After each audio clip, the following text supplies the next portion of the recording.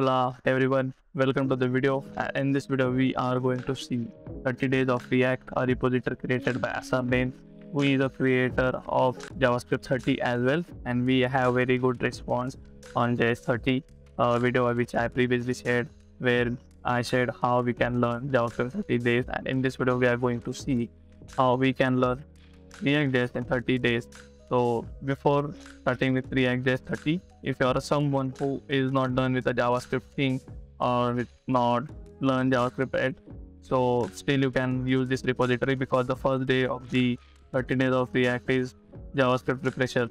There are some main components of JavaScript which is highly used in React JS because React JS is nothing but the framework a front-end framework of JavaScript, which is maintained by Facebook, which is used to create uh, better UI components or better UI interfaces in websites or the web applications. So, in the first day of the JavaScript refresher, you are going to learn internal script, external script, variable data types, arrays, and lot of exercises you have to learn.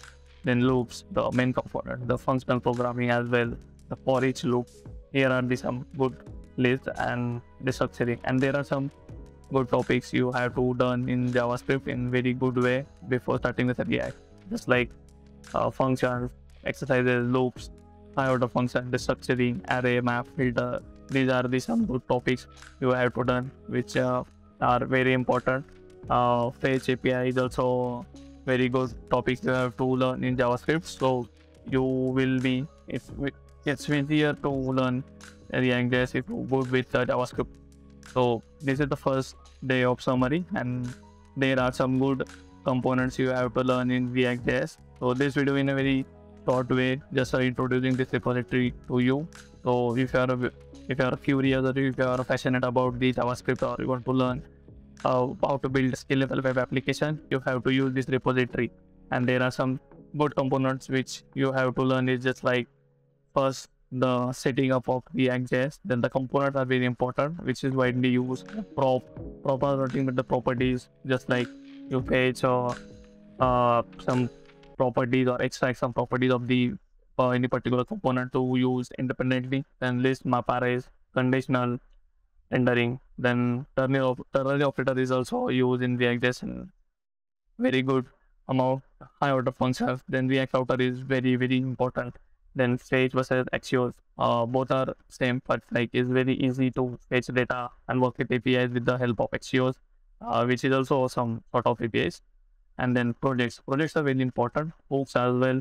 And I highly recommend like after learning a React or learning with React, try to build some small amount of projects which are going to help you to get better clarity of React.js, how it works and how you can set up React.js projects with the npx create react app or the any web just like Vite or bubbles so these are the some good practices you can do you can do and try to use uh like debugging your code and uh, while install the extra chrome extension which supports the react development. So these are the some good practices you can and do. And if you really like you can support the creator of this uh, repository through the paypal and yeah these are the some communities they built telegram group. And yeah there are pretty much things. And these are the requirements. You don't need uh, anything except the computer and internet a browser for editor html css intermediate levels. Yeah definitely motivation or curious we think or we say if you want to learn programming. So these are the some uh, readme files. So there are some instructions which given here. And yeah, this is the first day. The setup install Node.js and yeah, these are the all things you have to follow. So yeah, that's pretty much about it. Thanks for tuning in. And if you're really passionate, go through this repository. You are uh, be very thankful to me because there are a lot of things to learn. So yeah, thank you so much for watching. I'll see you in the next video.